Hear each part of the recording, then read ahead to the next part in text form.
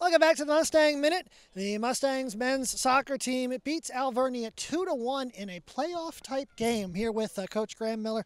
Coach, second half, you guys came out and made a really strong push. I thought the first several minutes, and then from about the 70th minute on, it to me looked like okay, it was just a matter of time before you guys were going to get that goal. Yeah, I would totally agree. I think uh, you know we started off strong as well in the first half. We lost a little bit of momentum. They scored, um, but we had the momentum. I thought going into halftime, and so I told the guys guys, let's carry that on. You know, the second half, and you've seen that, like you just mentioned.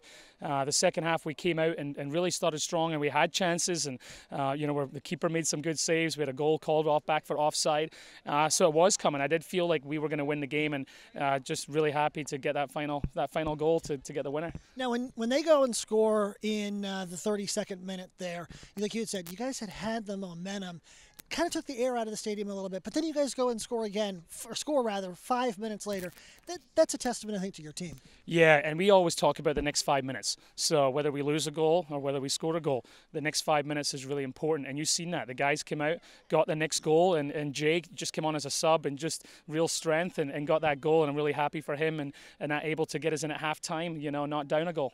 And it seemed like, I mean, in, on the score sheet, maybe it's not going to see that way.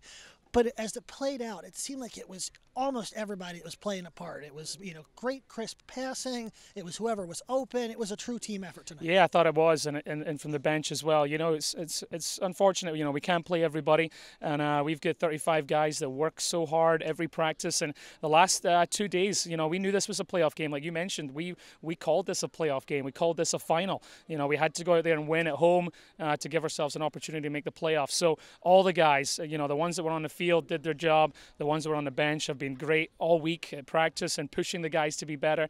And that's a testament of the depth that we have and, and the squad that we have. Is these guys are all pushing for each other. They are a team, and just really excited for the for the next week ahead.